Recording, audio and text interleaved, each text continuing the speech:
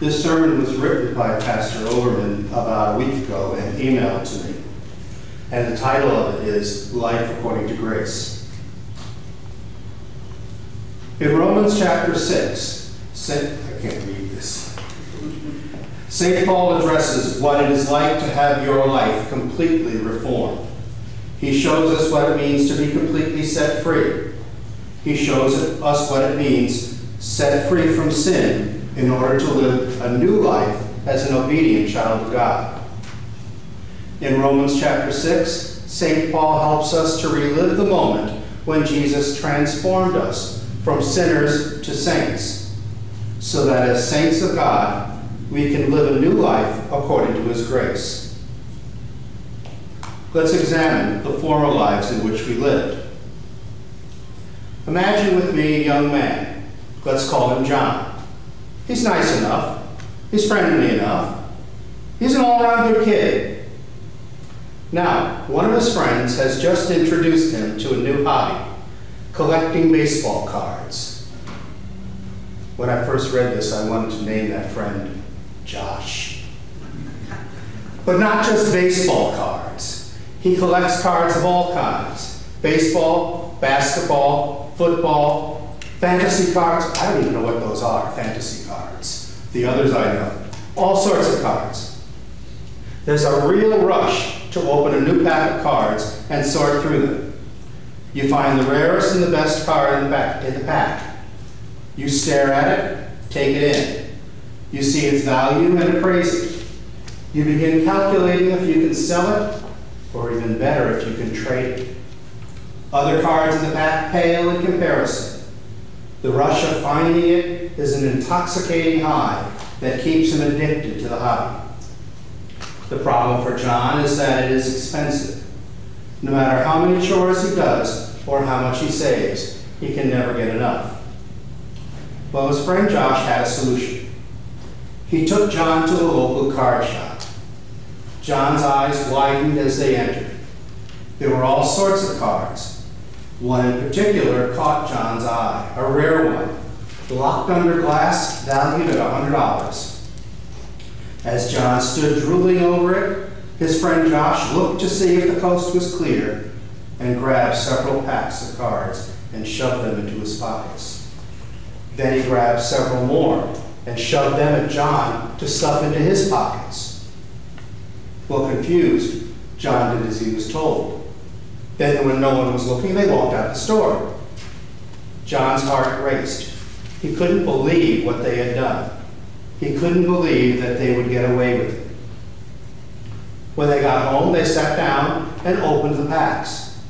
Rush of searching through the cards for the true rare ones was more exciting and intense, intense than ever before. John was not only addicted to the cards, but knew he would steal again. And he did several times. After a while, John and Josh went back to the card shop. Both boys had planned to steal again. It had become so easy. They just picked up cards when no one was looking and stuffed them into their pockets, believing that no one was ever the wiser. In this instance, the boys were laughing and carrying on as they filled their pockets, as if they were mocking the store clerks. When John turned to leave, he felt a heavy hand fall on his shoulder. His heart felt as if he had jumped from the high diving board. He had been caught. When his parents came to get him, he burst into tears. He knew it had been wrong, but it was so easy, so easy that he had almost forgotten that it was a sin. His parents had a long talk with him and encouraged him to speak to his pastor. Well, that was a task that John dreaded. It was hard enough to talk to his parents about it. But as pastor, what would he think? How would he react? He would throw John out of the youth group for sure. His life was over, and he knew it. When they got to the pastor's office, they were told to sit down. His mom immediately began to speak. She was almost hysterical ranting about her, how her sweet little boy could do such a thing. John sank into his chair. Dad spoke angrily. This is not the way I raised my children, he shouted. and he continued to shout, but John sank lower into the chair. Sobbing into his hands, he had lost his family's trust. He had made them so angry. He had hurt them so badly. And he was hurting too. Now it was the pastor's chance to speak. He spoke slowly and sternly. He opened up his Bible and read the Ten Commandments. Got to number seven Thou shalt not steal. Those words truly stung. He asked John, Do you know what you did wrong? The boy nodded and sniffed back a tear. Do you believe that my forgiveness is God's forgiveness? The pastor said again. And all in the room said yes. Then let it be done for you as you believe. In the stead, by the command of my Lord Jesus Christ, I forgive you all of your sins. In the name of the Father, and of the Son, and of the Holy Spirit. Amen. With those words, John's dad put his arm around John and said, I forgive you too. His mom kissed her son's cheek and repeated the father's words. And at these words, John's heart burst and the tears began to stream down his face. He had done nothing to receive this kind of forgiveness and love. It was overwhelming. He couldn't keep it in. He felt free. The burden of disappointment and hatred lifted from his shoulders. He was free. Free to be a part of the family again. Free to hug his dad and kiss his mom. He was free indeed. Well, the pastor, mom, and dad agreed that John would still do some extra chores and help out more around the church. But John was all too happy to do it. He was forgiven. He could now use his hands for God. His hands that were once instruments of theft and sin, he now used proudly in service of God's house. He was happy to pull weeds from the church flower beds. He was happy to vacuum the pews. He was happy to be forgiven. In many ways, we can all relate to John.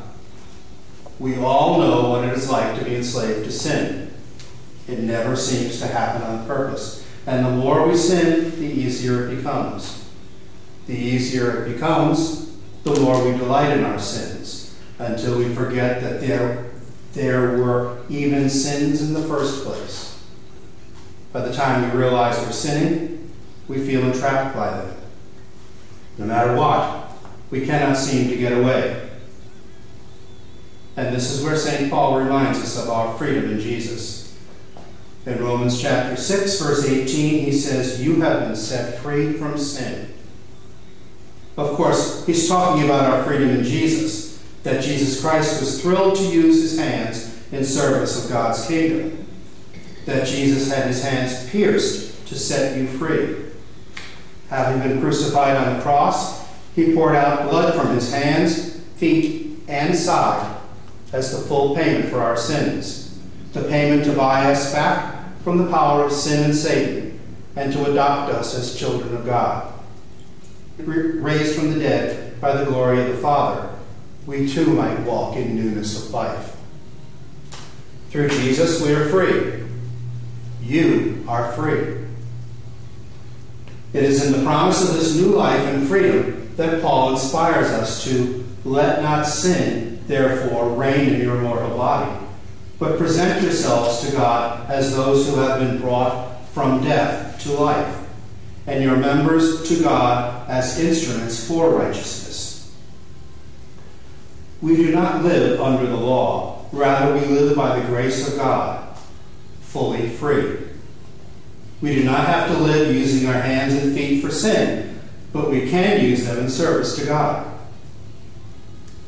In that story, the forgiveness that John found in that pastor's office changed his life. He was free. The constant rush of finding the rare card was no longer a concern. It was as if they no longer mattered, because he knew he was doing something far more important. He was serving God. John gladly came to the church. He got rags and dusted benches. He straightened up books in the pew. He went out and pulled weeds. Although the work got tedious, he didn't mind. He knew he was working for the righteousness of God. There's so much for us to do. There's so much that we can do with our freedom. We can come together and pull weeds. We can paint walls in classrooms. We can vacuum pews and dust benches. We can build a whole new church. We can do so much more. God sent Jesus, and he set you free. Free to use your hands and feet for righteousness. You are free to pack bags at the food pantry. You're free to donate clothing to the homeless. You're free to love your neighbor as God loves you. You have been set free from your sins. And like John, this freedom will change your life. So let not sin reign in your hands and feet. Rather, set them apart as instruments for the righteousness of God. Amen.